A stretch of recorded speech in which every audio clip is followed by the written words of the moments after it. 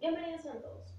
Mi nombre es Annie Frías. En esta oportunidad les voy a presentar mi trabajo especial de grado, el cual lleva por nombre La autoconfianza del profesional de las relaciones públicas en su desempeño laboral.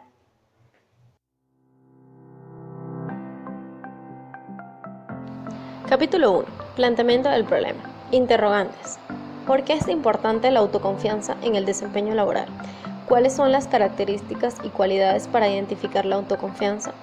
¿Cómo el relacionista aprovecha la autoconfianza? ¿El relacionista tiene autoconfianza al enfrentar nuevos retos laborales?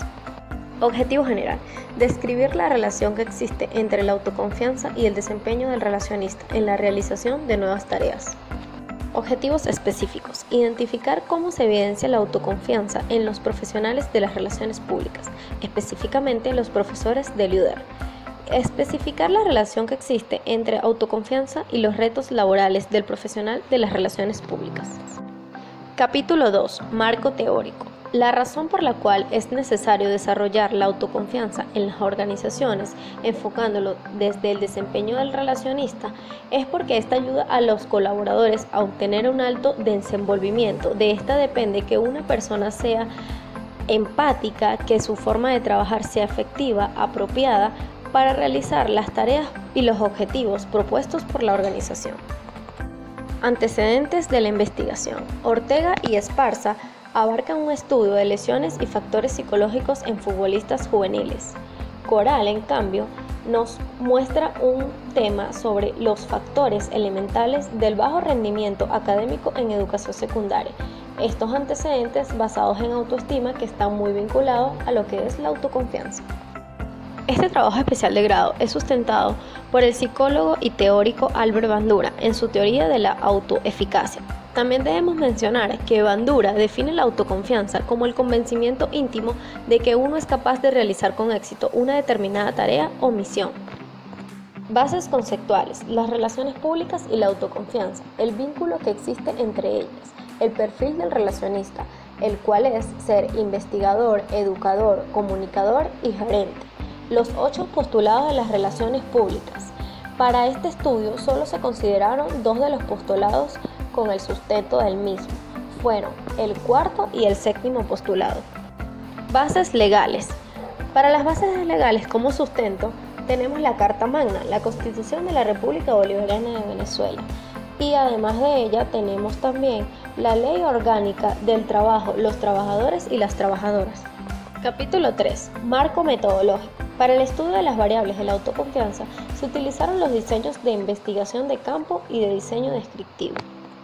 Se procedió a recoger la información de un grupo de profesionales en el área de las relaciones públicas acerca de la variable de la autoconfianza, para luego, mediante un análisis de tipo cuantitativo, extraer conclusiones que correspondan con los datos recogidos. Tipo de investigación. La investigación de campo se hizo con el fin de analizar y determinar en su cotidianidad lo importante que es la autoconfianza y su conocimiento para el profesional de las relaciones públicas. Nivel de investigación. Esta investigación es de nivel de representación descriptivo, con el propósito de describir la autoconfianza del profesional de relaciones públicas en su desempeño laboral. Población y muestra. Se contaba con una población de 27 profesores. Para la determinación de la muestra solo se contó con 8 de ellos. Capítulo 4.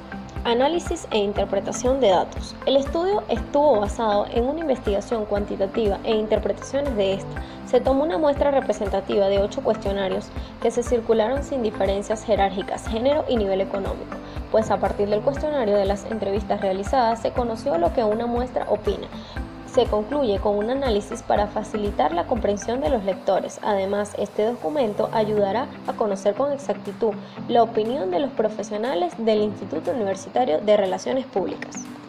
Para fines de esta investigación, la variable de estudio se basó en un cuestionario comprendido de cinco preguntas, el cual es el que estamos viendo, para conocer si el individuo poseía un alto nivel o un bajo nivel de autoconfianza dimensiones de estas variables fueron el autoestima, la autoeficiencia, las decisiones, la opinión pública, la influencia, la creatividad, el desempeño laboral, la organización y la actividad. En respuesta, los encuestados consideran que su autoconfianza no solo forma parte de su entorno laboral, este tiende a ser básico en su vida cotidiana. En otras palabras, dar mención si la autoconfianza es una competencia en lo laboral, los profesores que fueron parte de la muestra expresaron que sí es un desafío, ya que cada día se debe desarrollar y mantener un nivel. En el caso de los profesores de LUDER, demuestran con su entrega lo significativo que es ejercer dicho rol. El desarrollo en cada clase, la pasión con la que entregan sus conocimientos, el transmitir sus aprendizajes, el enseñar con empatía, entonces es allí cuando vemos la autoconfianza.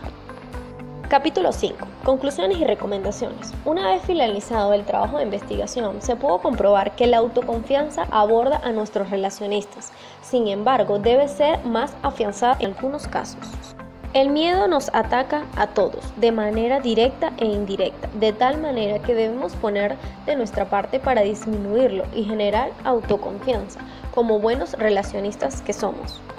De manera de recomendación, debemos establecer una cátedra la cual nos motive a sentir autoconfianza en nuestro campo laboral. Desarrollar todas las orientaciones necesarias que estén relacionadas a la motivación por la autoconfianza con la finalidad de tener mejores relacionistas. Se debe establecer jornadas con profesionales estrictamente especializados en materia de motivación, planificación y orientación, dirigida a los estudiantes del UDER al momento que empiezan su carrera universitaria. Esto ha sido todo por hoy. Recuerden, la autoconfianza nos hará mejores relacionistas. Gracias por su atención.